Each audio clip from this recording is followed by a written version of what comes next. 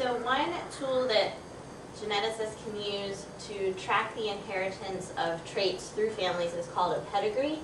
And it's a diagram of family relationships. It's sort of like a fancy family tree. Um, and we use symbols to represent people and lines to represent genetic relationships. So we can see, again, how different traits, if they're dominant or recessive or sex-linked, are inherited through um, an entire family. So this is the standard notation of a pedigree. If it is a male, it's indicated by a square. A female is indicated by a circle. If the male and female are married, there is a line in between them. And then this would indicate offspring of those individuals. So they have two girls and two boys. If the shape is not colored in, that means that that individual's phenotype is normal for whatever trait we're studying. If the individual has a colored in square or circle, that means that they um, carry or have whatever genetic disorder we are studying. And if we don't know, if we don't have the information to determine if the individual is male or female, but we know that, you know, there was a brother or a sister, we're just not sure which, we use a diamond.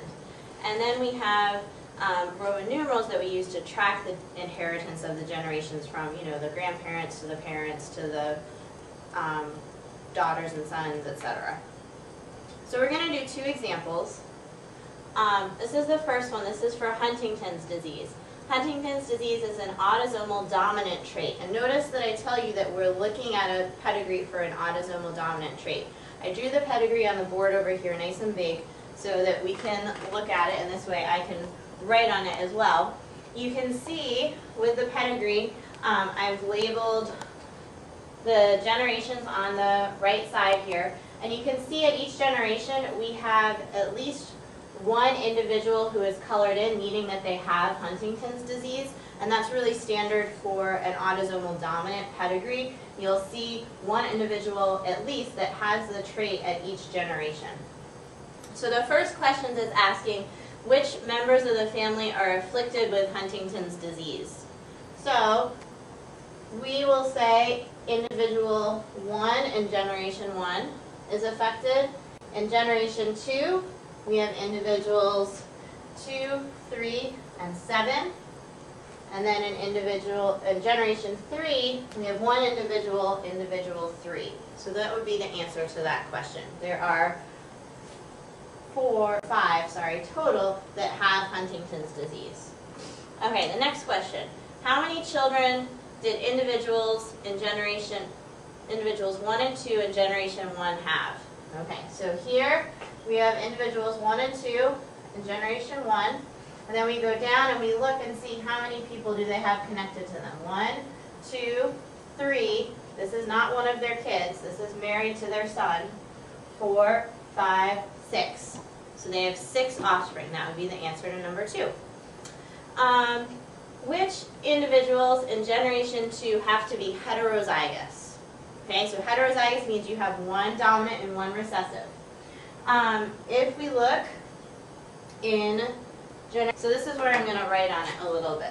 What do I know this individual has to have, since they are colored in, they have to have a big H for Huntington's disease, right?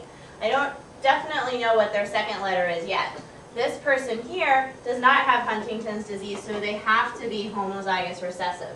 So anybody in this entire um, pedigree that is not colored in has to be homozygous recessive since it's an autosomal dominant trait. I also know, similarly, that all of these individuals that are colored in in generation 2 have to have a big H. So they got a big H from their dad. What did they have to get from their mom? The only thing that she can give them is a little h. That's the only thing that she can give all of these offspring. And then, if we look, some of these sons and daughter are not colored in. That means they're normal. So that means that they also have to be homozygous recessive. And if this couple had children that were homozygous recessive, we can work backwards and figure out that this dad had to be heterozygous as well. That wasn't the question. The question was which individuals in generation 2 have to be heterozygous. So we would say individual 2, 3, and 7 have to be heterozygous. The last question is asking us if individual 3 in generation 3 marries a normal man, what is the chance that they will have a child with Huntington's disease? So we know if the, if the man is normal, he has to be homozygous recessive. Even if he has one big H, he's going to have Huntington's disease. We look down here, individual 3 in generation 3 has Huntington's disease, okay? And we go back and look, her mom had Huntington's disease, but her dad was normal, so he's homozygous recessive. Therefore, he had to give her a little h. She got the big H from her mom. So we know what her genotype is, and we said that her husband has to be homozygous recessive. So you can make a Punnett square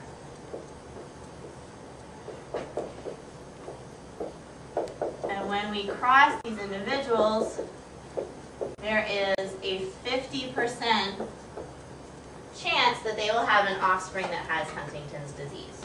So that one you had to do a little bit of extra work to answer that. Let's do another example. Okay, hitchhiker's thumb is an autosomal recessive trait. So this means that um, an individual is going to have to be homozygous recessive to display this trait. And I made this pedigree on the other side. Okay, so when we look at this pedigree as compared to the first one, you can see that we don't have as many shapes colored in. This is typical of an autosomal recessive inheritance pattern. Okay, it's not until we get to generation four that we even see individuals that have this trait. Um, we have a lot of normal individuals. So the first question is, how many daughters do individuals three and four in generation two have? So generation two, here's individuals three and four, and how many daughters do they have? One daughter. Right, that was pretty easy. What is the sex of individuals, of the individuals that one and two in generation three, what's the sex of their offspring? Generation three, individuals one and two, they have one offspring, and that's a square, so that means that they have a son. So they have a male offspring. Next question, what is the relationship between individuals two in generation one and individual five in generation three? So individual two in generation one, individual five in generation three, so if we work backwards, this would be the mom and dad, and then generation up, this would be her dad's mom, so that would be her grandmother. So you could say that individual 2 in generation 1 is the grandmother, or individual 3 in generation 5 is the granddaughter. The last one, which individuals in the Punnett square have to be heterozygous for hitchhiker's thumb? So if we go through, we know that all of these individuals have to have at least one big H, right? Because they're all normal. We don't know what their second allele is, but we know that they display the normal phenotype of not having a hitchhiker's thumb. And there's a lot of them. Until we get to these two down here, which do display hitchhiker's thumb, so we know that they are homozygous recessive. So if these two are homozygous recessive, we can work backwards and say that each parent had to be heterozygous in order to pass the little h on to this son and this daughter. So we know that in generation 3, individuals 4 and 5 have to be heterozygous. You'll be doing several of these for your homework. So good luck.